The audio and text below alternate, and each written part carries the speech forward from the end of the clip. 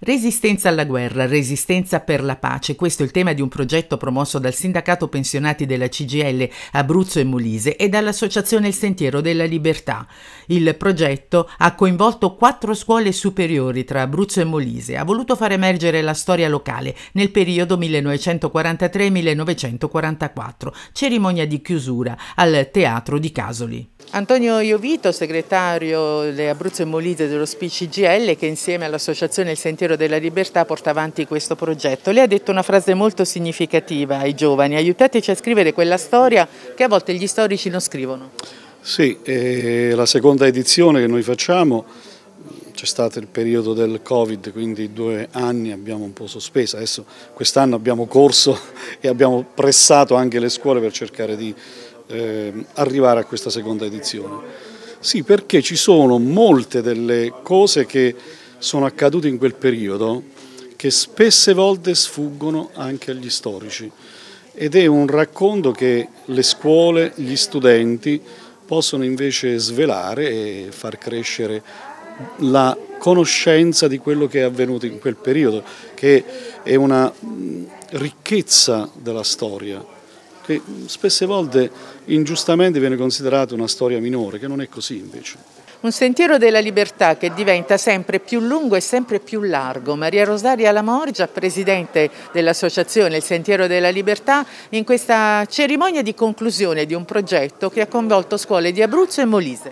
Sì, è un progetto che noi stiamo portando avanti da qualche tempo in collaborazione con lo CGL Abruzzo e Molise e coinvolge appunto scuole abruzzesi molisane e devo dire che prima del Covid eravamo riusciti a coinvolgere anche scuole eh, campane campane e laziali. E, mm, il Sentiero della Libertà è veramente un percorso di unione, di, dove la memoria diventa memoria attiva, memoria attiva per tornare indietro nel tempo, ricordare fatti storici importanti, soprattutto personaggi storici, per quanto ci riguarda soprattutto quegli uomini e quelle donne che hanno partecipato e non sono entrati nei libri di storia, che sono stati però i protagonisti della resistenza umanitaria, e, però ci porta anche più avanti, diventa un sentiero come dire, per riunificare anche, eh, per far dialogare popolazioni diverse, per riunificare anche l'Italia, per tenerci insieme, un luogo dove camminiamo insieme.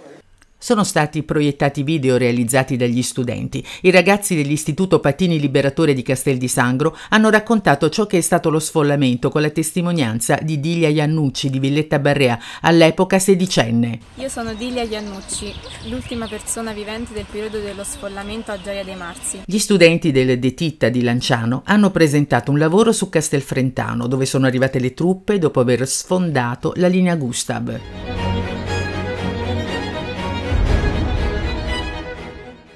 Gli studenti del Fermi Mattei di Isernia hanno puntato sulla testimonianza di Giacinto Mucciarone. Voi non sapevate che, che poi c'è stato l'armistizio nel 1943? Siete sapute? Non facevano sapere.